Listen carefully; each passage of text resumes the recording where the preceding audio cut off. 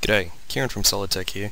In this video I'd like to show you how to use SolidWorks RX, which is a great little diagnostic tool for recording and capturing any issues that you might be having with SolidWorks. So you can find it under your Start menu, All Programs, browse to your SolidWorks installation directory. I'm using SolidWorks 2011 today.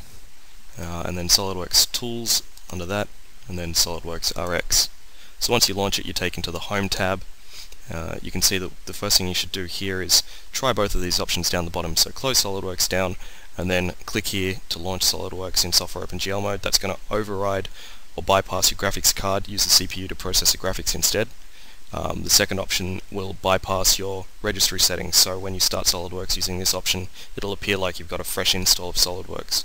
So if you're unable to reproduce your issue using these modes, then it points to an issue with your system. You should obviously contact your support engineer, we'll be able to help you out and fix up your computer. Uh, assuming that you can actually still reproduce the issue using both of these modes, you should then proceed on to the problem capture option. So you can either click here or switch across to the problem capture tab. Uh, what we're going to do here now is we're going to record a video. So it's going to start up a new session of SolidWorks and it's going to start it's going to record a video as we go through uh, and use SolidWorks. If you happen to be experiencing random crashes with SolidWorks so you can't actually predict or, or reproduce the error on demand, you can just uh, uh, skip this uh, video recording option and just go through and describe the problem. And that will pick up the journal file from uh, the previous session of SolidWorks which will uh, hopefully indicate what caused the crash.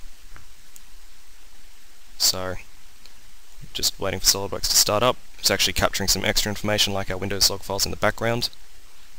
So now that SOLIDWORKS is up and running, I'm going to run through and recreate this issue. I'm actually working with a live issue here today.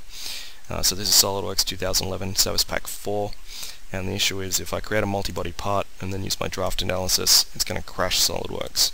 So don't try this one at home.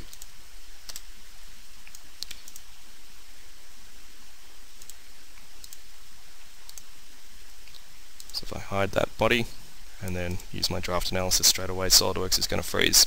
So once SOLIDWORKS freezes or crashes, uh, we'll be taken back into RX. If your issue doesn't cause SOLIDWORKS to crash, you can just close SOLIDWORKS down after you've finished. Uh, and once you do that, you'll again be taken back into RX where we can now describe the problem. So minimal detail is fine, just need to fill out some of this information, um, pick, a, a, the area that the issue is related to. This one is part related. Obviously pick the appropriate one for your issue. And then for the sub-issue I could pick either draft or multi-body. I might run with draft for this one. I'm just going to edit out this typing, but obviously type some information in here.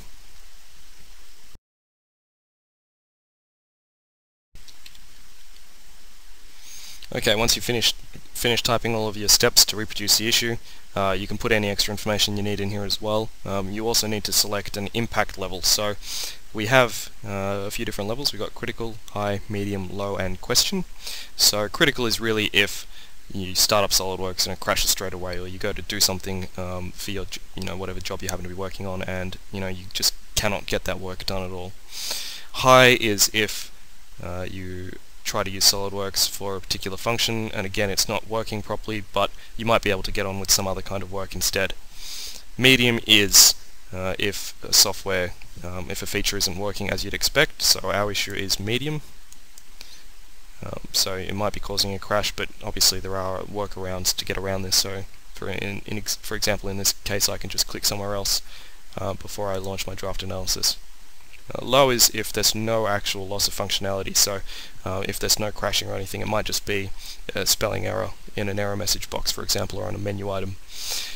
Uh, and then you can also use it to ask questions. So for example, if you've just got a random question, you can capture a video file uh, to help explain your question. And so you can just set it to question. Um, for the reason, I'm just going to use a little bit of the explanation here. So a software function is inoperable. It's good enough.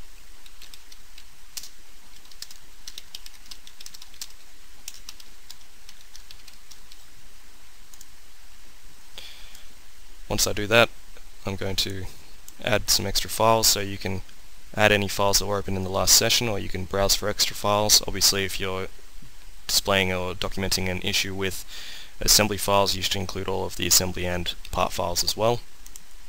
Uh, it's also going to capture all of these files as well including that video file, uh, the Windows log files as well. And we can just click package. So it's going to gather all those files into a zip file for us.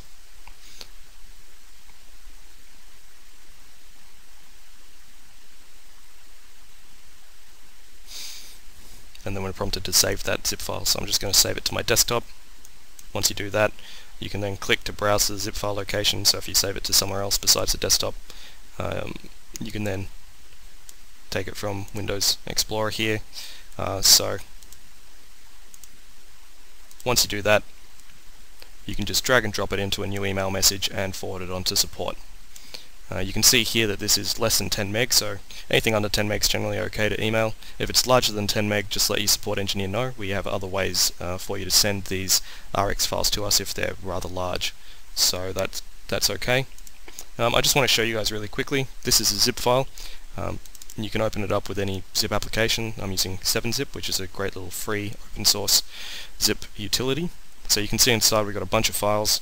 That's the video file uh, showing the problem. That's a journal file from the last SOLIDWORKS session that we had open. Uh, we've also got all those files that you might have been using. And we've also got extra information like you can see here information about my computer. Also the Windows log files which are useful if we're trying to track down particularly uh, difficult uh, issues. Just jumping back into SOLIDWORKS RX, I want to show you some of the other options as well, uh, some of the other tools in RX.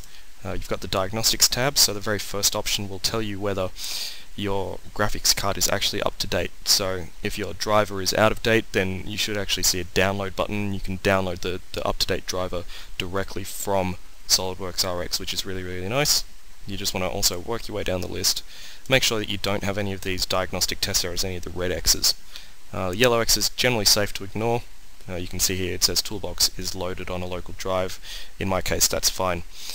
Um, if you do have any of those red X's, obviously you should contact support and we can help you resolve those issues. You've also got system maintenance, so you can see here we've got our temp directories, so you can use SOLIDWORKS RX to clear these out. That should just uh, keep SOLIDWORKS ticking along nicely. You should do this every so often. And then on the add-ins tab, you can see we've also got this great little tool called the benchmark. So this is actually going to launch SOLIDWORKS with some standard part files and run some benchmarking. Um, so that will give you an objective score. Um, once you're finished, you should be prompted to upload it to the SOLIDWORKS website so you can compare it against other people's machines. Uh, it's also a really great way to compare different systems. For example, if you're trying to um, upgrade your systems for SOLIDWORKS at your company, so you can run this on, on a few different machines and see which one is actually going to work best for SOLIDWORKS.